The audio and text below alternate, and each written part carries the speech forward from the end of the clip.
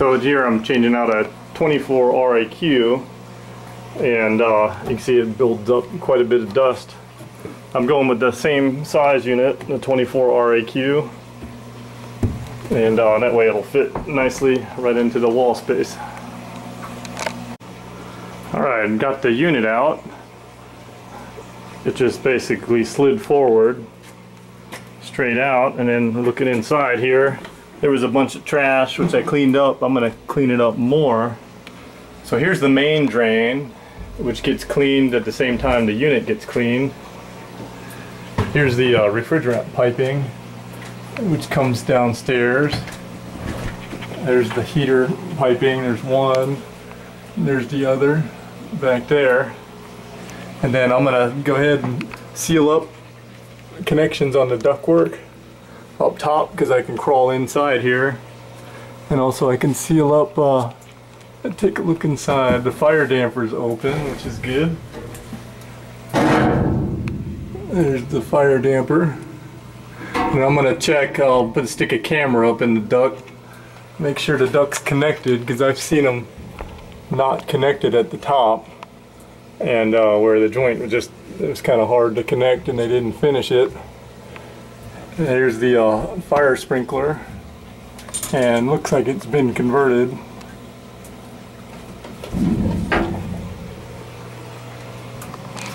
So I'll do some prep work while I can go into the uh, little mechanical closet here before I put the unit in.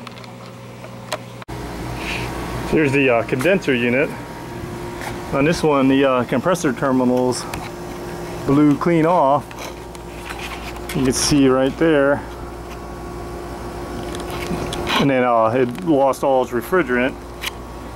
And this is a, a one and a half ton. And um, swapping out to a two ton because I've been doing that on all the lower floors. And uh, it was the original carrier unit you know 20 plus years old. So what I'm gonna do now is purge out uh, the refrigerant lines. Got my CO2 here and then I connect it to the line and purge it out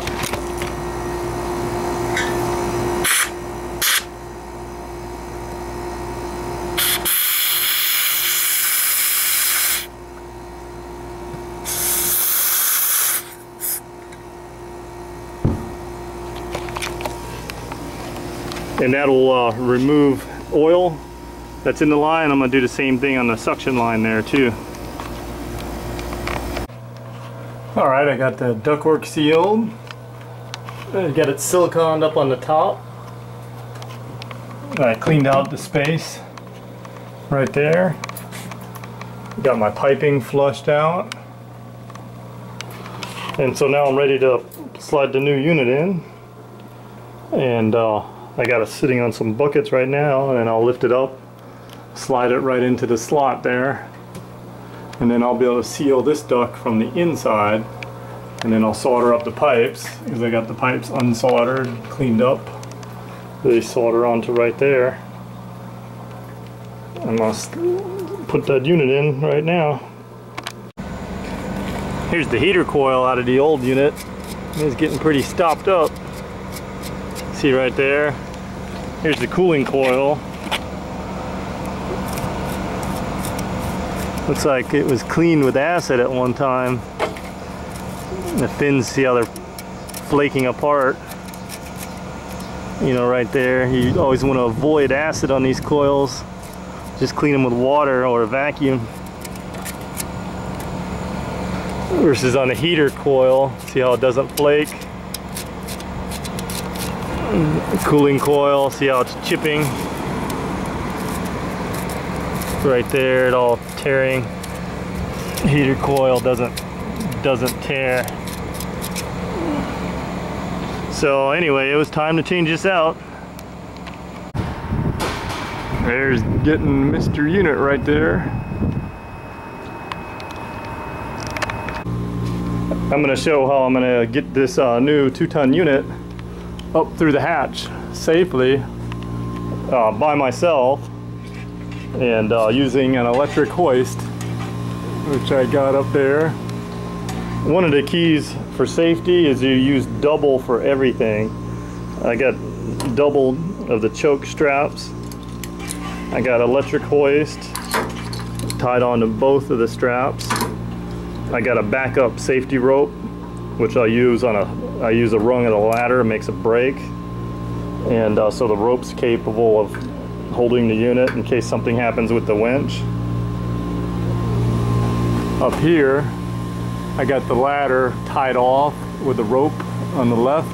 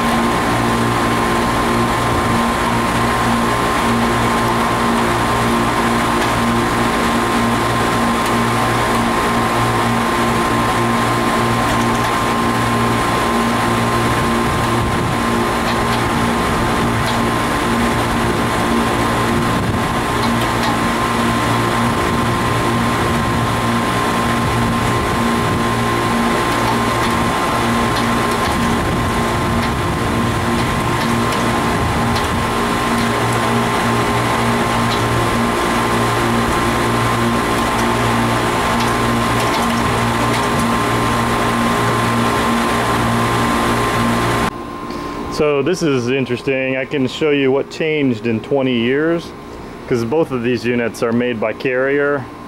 They're pretty much the same design. But in 20 years, they've gone, the old unit was a 10 SEER and it's gone to a 13 SEER now. So it's 30% less electricity. And, uh, and so to accomplish that, you can see the unit's a little bit taller so it's got a bigger coil. And the bigger coil does a better heat transfer. But the, the big change is the compressor. This is a uh, pot compressor and uh, which has a, it's called a reciprocating and has two cylinders.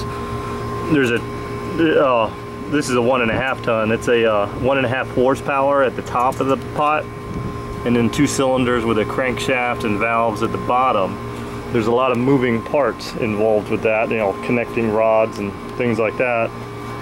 Uh, this is uh, what's called a scroll compressor, and this is a two ton, a little bit bigger size, and then you can see it's a lot smaller looking. It only has two moving parts, a stationary scroll and an uh, orbiting scroll. It's not a spinning scroll, it's like a, kind of works in a circle. So by going to the scroll compressor, going to the new refrigerant, which is the R410A, they're able to increase the efficiency 30%, you know, on those uh, units. Pretty cool. All right, I got my rig set up to go down. So again, we got our rope, got our cable, got a ladder tied off so the ladder doesn't want to pull over. I have to do a disclaimer. This is um, harder than it looks. There's a lot of ways to get hurt uh, doing this. And um, I've done a lot of work on Marines uh, working in ships. You definitely don't want to do this. And uh, crane is going to be safer. And uh, you have to know what you're doing. There's a lot of ways, like I said, it, there's a lot of things that can go wrong. I change out a lot of units out here at Decoverly, It makes it easy for me. So uh, I just want to put my little disclaimer in there. Do not recommend doing this for other uh, contractors.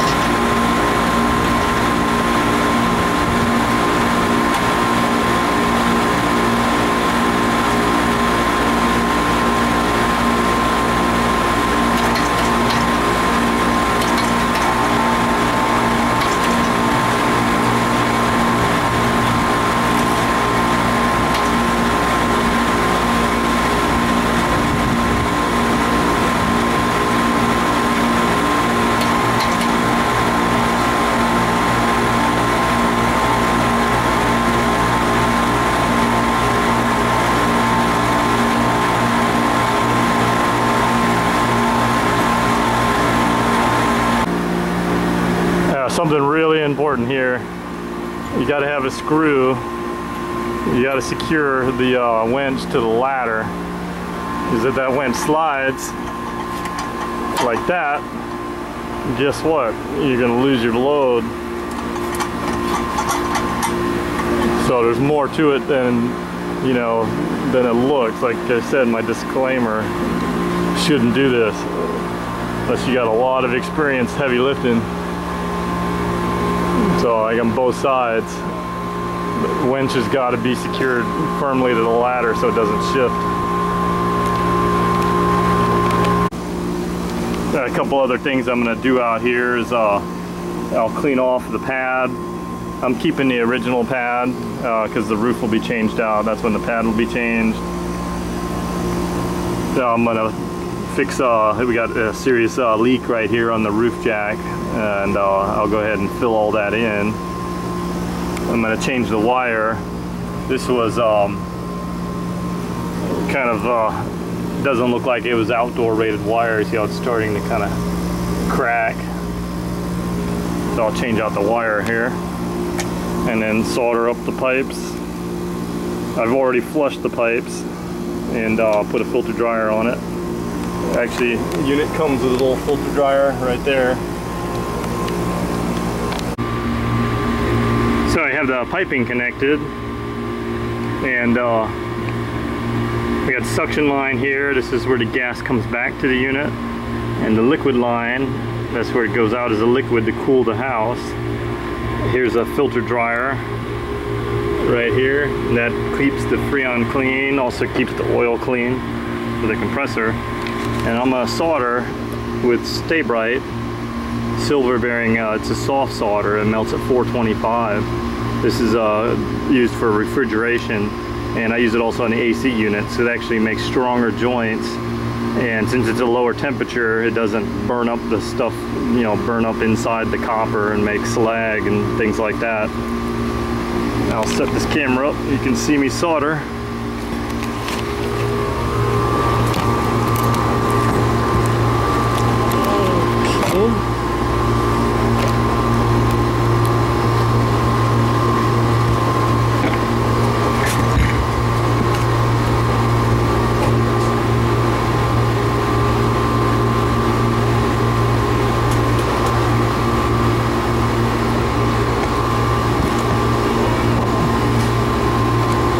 silver bearing soft solder, it just uses uh, a regular propane torch.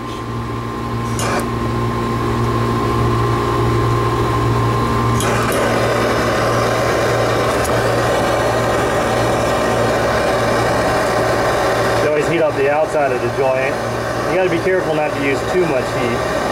It's really easy to overheat these joints and then you end up boiling the solder and ruining the joint. You have to redo it. Divide the joints in 180. I hit them a couple times there.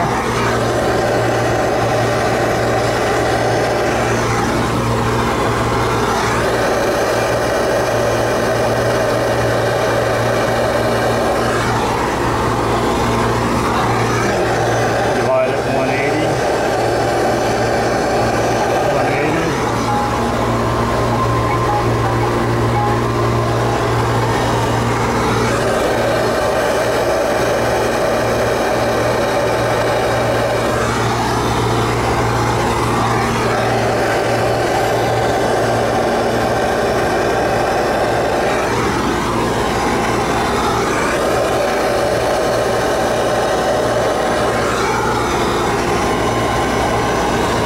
Now I hit my little one and it's even less heat.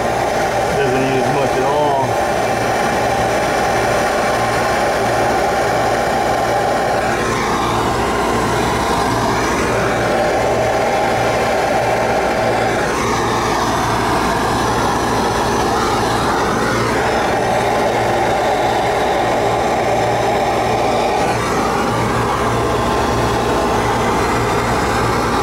I got, see, I got my pan catching any extra solder. That way I don't melt the roof.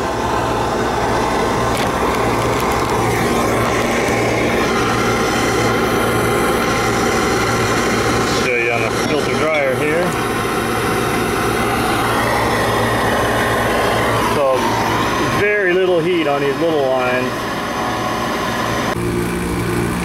Now wiring on these units is real simple. There's two wires for the control. This makes 24 volt and it pulls in this contactor here which then turns on the power and then the 230 volt is right here and that goes across the contactor and then gives the 230 volts to the fan and the compressor in the bottom there and that's that's it on the wiring all right we have startup here. Suction pressure 132 and then the 46 degrees is the refrigerant temperature. So suction's doing good. We got our amps running at 8.4 amps. So that looks good. I just got to come back and uh, do the insulation fix the water leak change out the wire here to do some drywall downstairs. It's looking good. There's a unit there. So I cleaned up a little bit and got all these screws uh, you know off the roof and then a big old bag of trash there. Quite a bit collecting. All right we got the installation completed here. We got our new insulation I used uh, sunlight resistant silicone fixed up the water leaks on the roof jack. Filter dryer installed. Got our new outdoor rated uh, wire for the uh, power. Turned out a nice looking job. And of course cleaned up the roof. You see all the other units here on the roof a bunch of trash off the roof there. There's the unit starting up.